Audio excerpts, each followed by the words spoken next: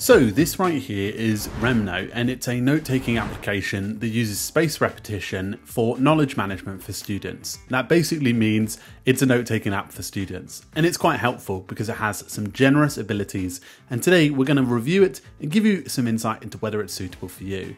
Before we begin this review, please do check out toolfinder.co.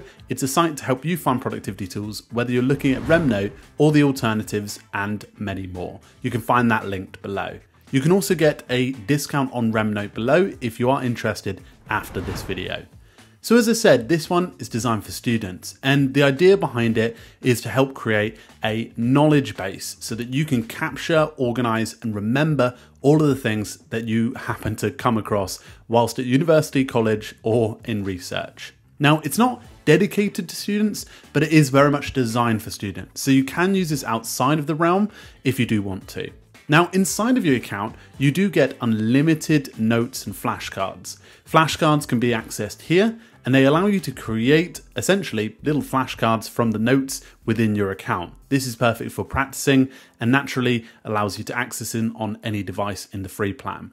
So the free plan is pretty accessible. There are some limits to the amount of files you can upload per day and also the PDFs, elements and things like that, um, and more of the advanced features, but we'll cover that later on. Now, in terms of the pro pricing, it's $8 per month or $96 per year. There's also a lifelong learner pricing, which is a one time payment that I believe covers up to five years of use. And if you think about it, that's probably something that is better suited for those who are maybe doing a PhD or something like that and want something a bit more robust. So that's just something to note, and that's $395. But the premium pricings basically unlock the ability to do un- unlimited annotation, PDFs, files, and unlimited exams, file uploads, as well as some advanced features like math latex and many more uh, table and tag abilities, as well as a few other bits and bobs. So let's get into the general experience of Remnote and how to get started.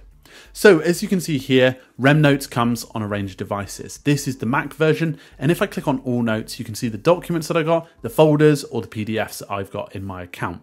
Now, as I said, PDFs is unlocked under the premium.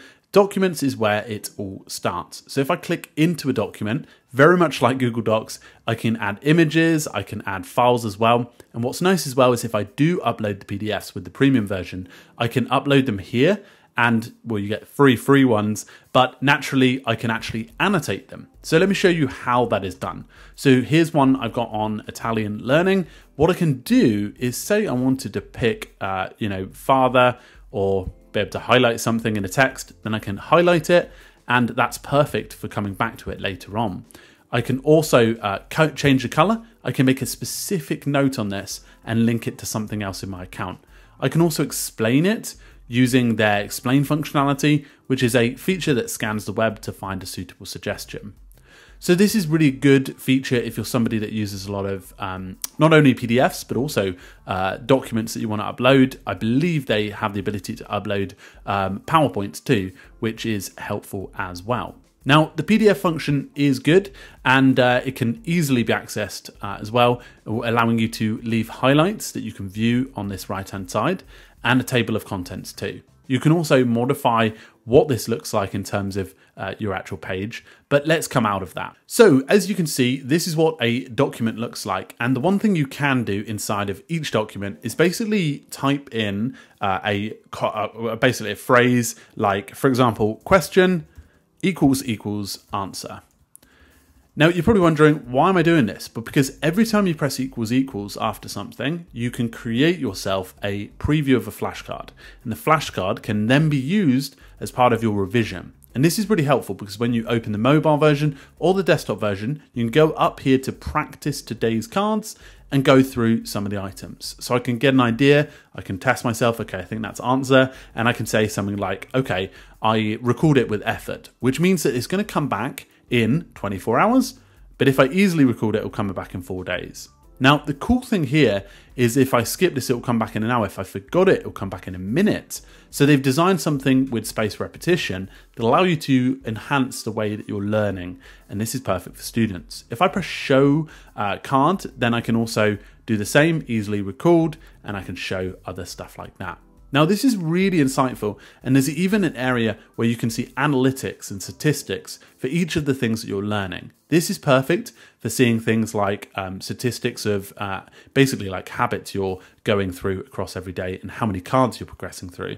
And there's even a feature called Exam, which will allow you to uh, basically set up a, uh, a goal and when that exam is going to be. So, for example, if you want to search a document for your exam, then, for example, it's going to set a period of time so that it's got a focus to work on, and then obviously focus all those cards towards it.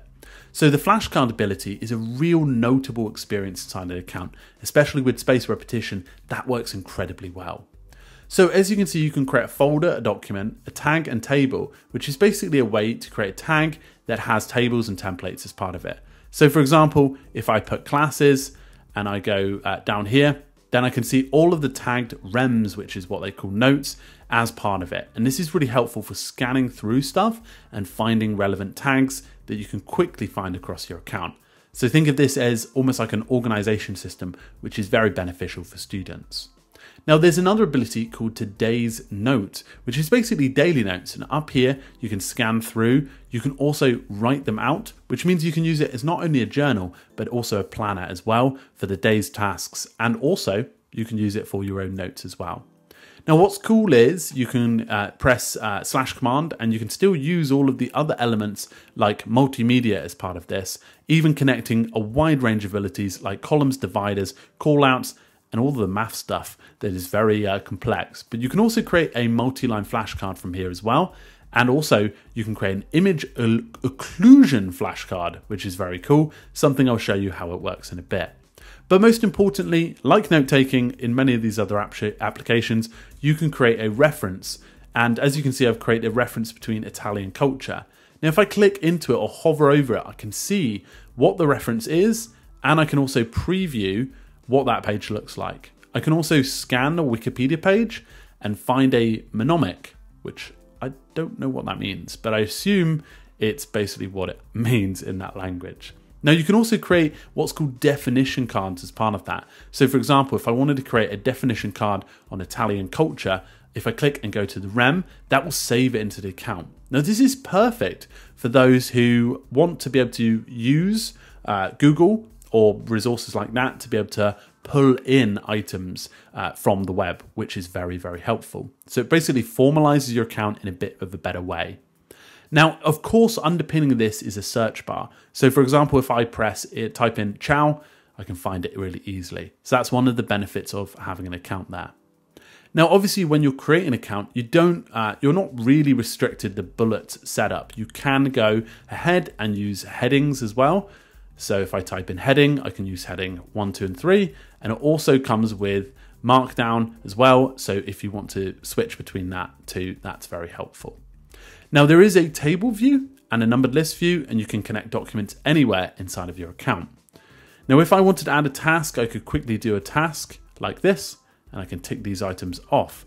And if you notice in the right hand corner, I can see any of the upcoming uh, specific uh, flashcards that are part of this account. So, for example, uh, that one definition I brought in earlier is technically a uh, card, which is very helpful. So, for example, I can set an exam date and help to plan towards the exam and prioritize the revision as well, which means I can see the learning priorities of them, and that's really helpful for students to be a bit more effective in their decisions. You can also practice the flashcards in order, but that comes as part of a pro experience.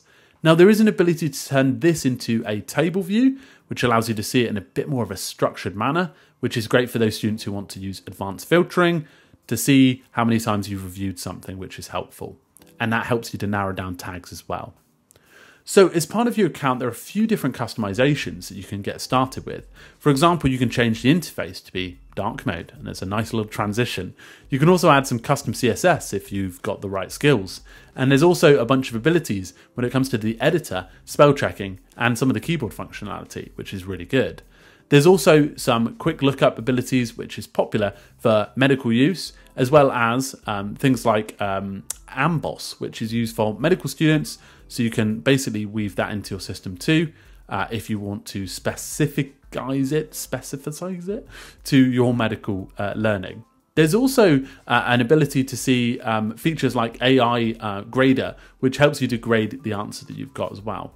There's a bunch of abilities here as well when it comes to the cards and accessing that. Now, obviously, there's AI features, and obviously, you get more of that, but you can also connect it to OpenAI Key too.